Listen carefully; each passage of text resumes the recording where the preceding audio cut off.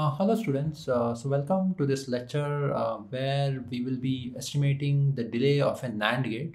So till now we had seen only the inverter as a classic example and then um, uh, we had uh, you know we had used the transistor's current equation to arrive at the propagation delay falling uh, delay. And then at some point of time we had you know we had approximated that to an RC network and then from the RC network we said it is log of 2 into RC and finally, we uh, ignored the log of 2 expression, uh, stating that you know the input may not be always a step input. So there will be some kind of an input transition, and uh, to have it more a conservative approach, we, said that uh, the delay, the falling delay or the rising delay, will be nothing but a product of R and C. In our last class, uh, we had seen an Elmore delay method, uh, and we had established a, a, kind of an expression involving the summation of the product of R and C. So that particular Elmore delay method we are trying, we will apply into uh, into the NAND uh, gate. Especially, we will look into the three input NAND gate and then see what is the uh, overall uh, the propagation delay falling and then the rising, right? So to understand that, what we will do is uh, we'll quickly go over uh, the inverter, you know, the inverter unit inverter circuit, which is driving another unit inverter quickly establish uh, that particular uh, uh, the propagation delay in terms of RNC. So let me use my pointer.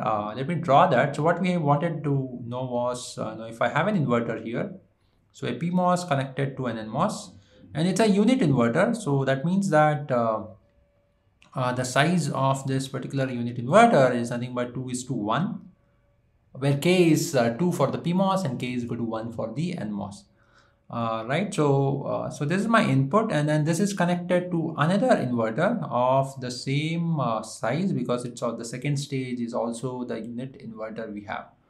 Uh, so here is the PMOS so bubble transistor will be nothing but PMOS and then this gets connected to the uh, next stage inverter. Again the the size is nothing but of the unit inverter so 2 is to 1 so overall, what we see is, uh, you know, a capacitance here, the overall capacitance at this particular output node is uh, nothing but 2 plus 1 plus 2 plus 1, so 6C. All right, so this, uh, and then this one will contribute to 3C. And then the input side this, and then this one will contribute towards the 3C. So overall capacitance is 6C. Uh, and, uh, you know, if I look into uh, the switching resistance uh, of the PMOS side, which is uh, 2R by 2 multiplied by 2. So this PMOS will always have, sorry, sorry, this is 2R divided by 2, right? So that will be nothing but R. And the switching resistance of this uh, NMOS will also be nothing but R. So I'm going to write it somewhere here. The switching resistance of the NMOS is nothing but R by 1, which is nothing but R. On the PMOS side, it is 2 times R because the mobility of the holes is uh, half, you know, that of the mobility of the electrons. So the resistance naturally will be higher too. Uh, and we have considered for the long channel model, it is 2 times R, the switching resistance. And because the scaling is, uh, the width is twice, so we had uh, used uh, uh, 2R divided by 2, that turns out to be R right so and then here also the switching resistance uh, nothing but 2r by 2 for the pmos which will be nothing but r and then here the switching resistance is nothing but r. R by 1 will be nothing but r.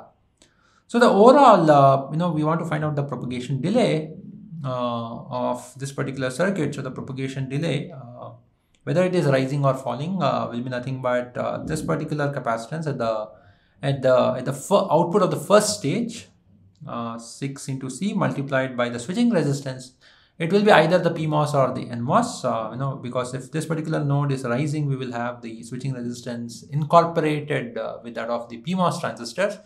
And if this particular output is falling, then we will have the switching resistance incorporated or included uh, with that of the uh, NMOS side. So it will be nothing but R plus, uh, and the output side, you know, if this is the output and then this is the input, uh, right so this output uh, based on the x uh, you know as an input here so this second stage if i'm considering the second stage output coming from the you know input of for the second stage it will be nothing but uh, the overall capacitance here will be uh, seen at the output node will be nothing but uh, 3c uh, because this is the 2 coming here and then this is the 1 coming here. So 3C capacitance multiplied by uh, one of the switching resistance either it is a PMOS or NMOS. So I will get uh, uh so this one 3C uh, into R. So overall I'll get 6RC plus 3RC. Alright. So finally it will be 9RC. So this 6RC is kind of very interesting. What it means is uh, if I have one inverter, if I have this particular uh, inverter, uh, first stage inverter cascaded to another stage, right, I will get at this particular output, I will get uh, the, the, propagation delay falling or rising will be nothing but 3RC uh, plus 3RC. 3RC coming from, uh, you know, the, if I consider that, this particular component is nothing but 3RC plus 3RC.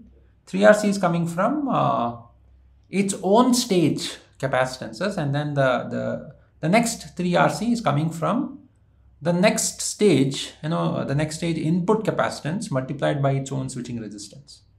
Right, it's very interesting. So this 3C is actually coming from the next stage uh, input capacitance, also called as a load capacitance, multiplied by its own switching resistance. Right? Yeah, yeah and here the 3c is actually coming from uh, its own capacitance and then this r is coming from its own uh, switching resistance.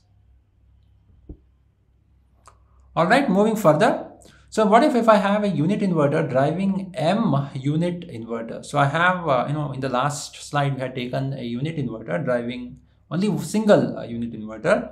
Here it is driving M such unit inverter. So the propagation delay of the first stage, first stage means input to the output X here. So this particular path, input to output uh, of the first stage will be nothing but 3CR coming from its own stage plus M times because there are M such inverters now uh, connected to this particular X node. So there are M such inverters.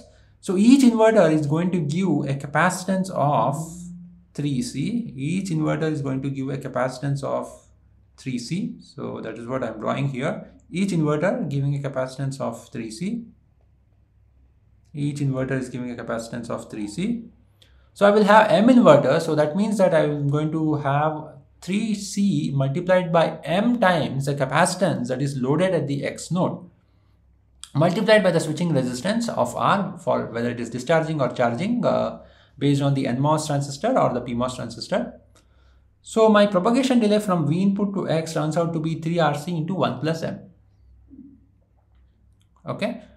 And uh, propagation delay uh, from input to Y output uh, will be nothing but uh, this particular component plus uh, in this particular output I will see a capacitance of only 3C right? Multiplied by its own uh, you know this particular stage uh, switching resistance of either PMOS or NMOS. So it will be 3 RC and you know propagation delay from V input to X is nothing but 3 RC into 1 plus M.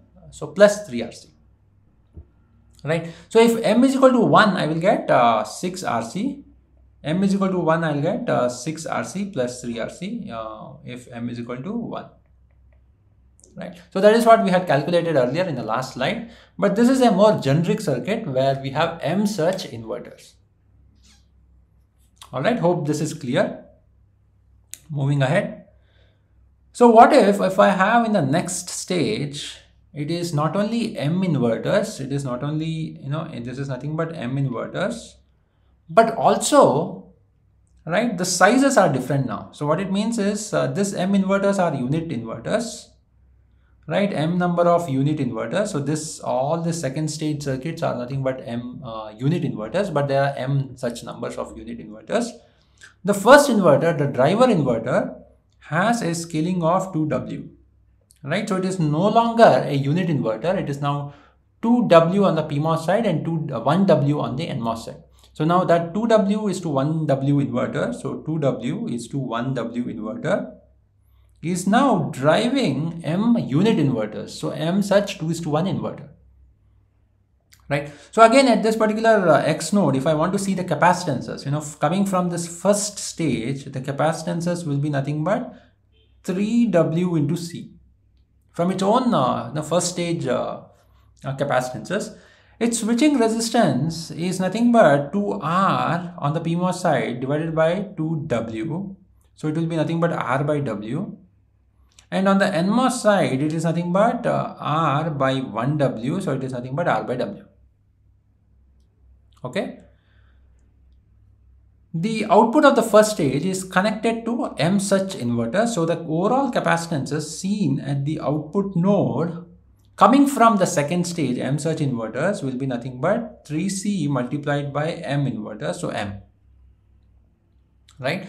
So the propagation delay from V input to X, from V input to X, this particular node is given by, uh, you know, the R by W, the switching resistance now, uh, because of the 2W uh, uh PMOS and then 1W NMOS transistor. So either of them uh, will be switching uh, transistors multiplied by its own cap uh, parasitic capacitances which is now 3WC.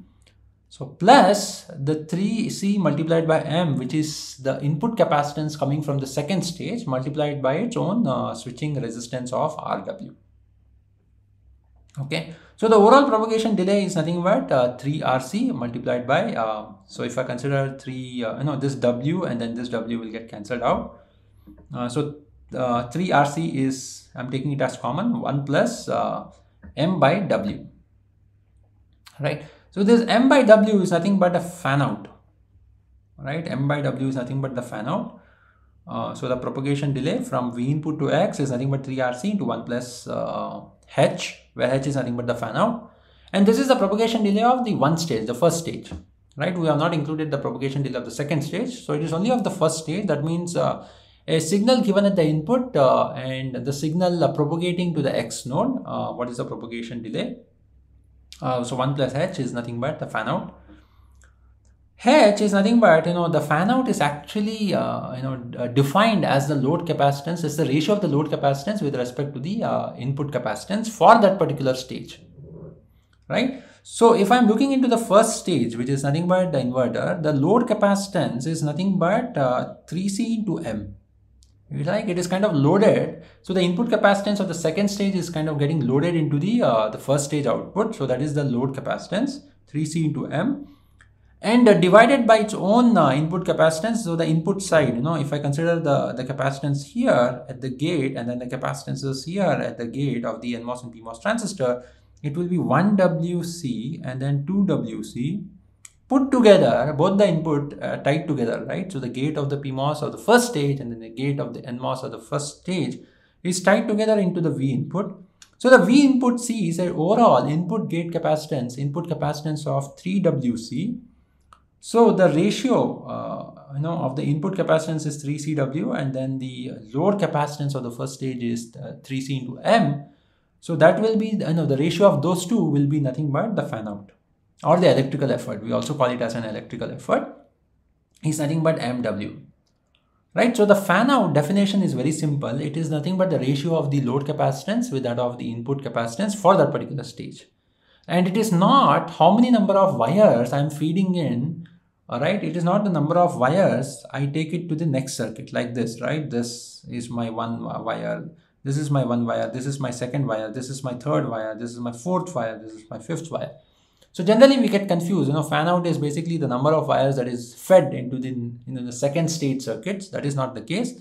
The fan out is purely a, a capacitive ratio definition. So the load capacitance, the ratio of the load capacitance with that of its own input capacitance, right? So that will be my fan out. Hope uh, this is clear to everyone. So let's, uh, you know, um, uh, take an example here. If the switching resistance of uh, the PMOS or the NMOS, whatever I'm saying is 10K, R value is 10K. So the R is nothing but the unit PMOS or unit NMOS uh, switching resistance, right? And, uh, and individual C value is given taken as 0.1 femtofarads. Uh, so that means the unit NMOS capacitance, the drain to body capacitance is considered as 1C, which is 0.1 femtofarads right? The fan out is 4 fan out is 4 so for the first stage the fan out is 4 so determine the propagation delay for the circuit shown in previous. So this propagation delay uh, what we are considering is uh, for the first stage right? It is only for the first stage and not for the second stage. Okay? So for the first stage, uh, so the TPD is nothing but 3 RC 1 plus H, right? Uh, so the fan out is anyways 4. Um, so that means uh, if the fan out is 4, right, if I go back to the previous circuit, the fan out is 4, right? So this, this particular value is nothing but 4. What it means is, uh, you know, M by W is nothing but 4, right? So if I have, uh, you know, if I consider M uh, W to be actually 1, right, and then M is equal to 4, right? So I have four inverters. So one unit inverter driving four uh, inverters, unit inverters in, for the next stage. So that's a basic example what we have uh, in this particular uh, um, exercise. Right, so 3 RC 1 plus H, uh, so turns out to be RC is equal to 10K multiplied by 0.1 femtofarads, turns out to be almost 1 picoseconds multiplied by 3, 3 picoseconds, 1 plus H is 515 picoseconds is what we will get right so uh, this kind of this uh, example or exercise is a very important example. So it is basically the fan out of 4 right? So we we call it as the fan out of 4 right? The fan out of the 4 so we also write it as fan out of 4 is nothing but 15 picoseconds right? Which is nothing but a unit inverter driving four unit inverters right? So for unit inverter driving a four unit inverters and this becomes a very standardized values. So if I want to find out uh, what kind of, uh, you know, given a technology node, uh, there will be fan out of four circuits at the corners of the chip, right? So in the chip, we will have uh, different circuits, but at the corners of a chip, uh, we will always have this uh, fan out of four circuits to you know to ensure that you know whether my all my manufacturing process all my uh, you know the design process everything is if it is accurate the fan out of 4 right will give me a specified value. For a 65 nanometer technology values uh, uh, 65 nanometer technology node we will get this fan out as 15 picoseconds because the switching resistance is close to 10 kilo ohms. Uh, capacitance is close to uh, uh, 0.1 femtofarads so the fan out of 4 should give me 15 picoseconds. So what it means is in, in, a, in, a, in, a, in, a, in a wafer, in a wafer design, if I have a lot of uh, circuits in this portion, at the corners, I will have this uh, FO4 circuits right? And if it gives me 15 picoseconds, you know, after the, the, the wafer or the chip is manufactured, and if it gives me 15 picoseconds, rest assured that all the processing, all the manufacturing processing, fabrication processing, the technological processing is accurate. So we can use this particular chip for, uh, for the intended applications, right? So that's where, you know, you will see in the, in the textbook or in the literature, the fan out of four is often uh, used, right? Hope this is clear.